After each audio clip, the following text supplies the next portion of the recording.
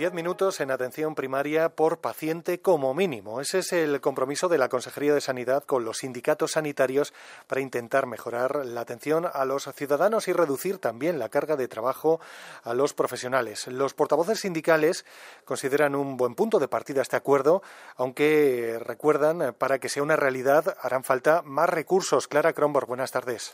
Buenas tardes. Un acuerdo que establece límites de tiempo en las consultas, como por ejemplo un tiempo mínimo de consulta para pacientes sin cita de 10 minutos, un tiempo mínimo para atención domiciliaria de 30 minutos o un máximo del 70% de la jornada laboral. Mejoras que de todas formas el profesional puede modificar si lo estima conveniente y además piden un incremento de recursos humanos y buenas condiciones de trabajo. Alicia Martín, delegada de Prevención de Riesgos Laborales de AMITS, reclama un tiempo mínimo para pacientes. Nos parece imprescindible eh, garantizar que la presión asistencial no puede socavar las condiciones de trabajo de los profesionales, que la situación de los profesionales está ya muy mermada eh, por la pandemia, por las condiciones previas y por las condiciones posteriores.